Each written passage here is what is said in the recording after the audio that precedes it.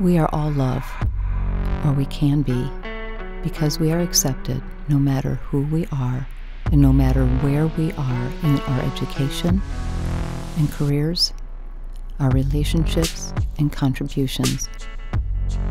We are valuable because we are formed by Him. This is our hope. This is our faith. Walls of suspicion are built in an immovable progression.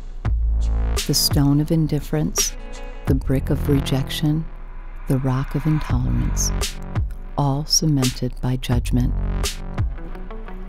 But love can chip away at the wall because it can love the so called unlovable. It can see the beauty lurking beneath the outwardly ugly.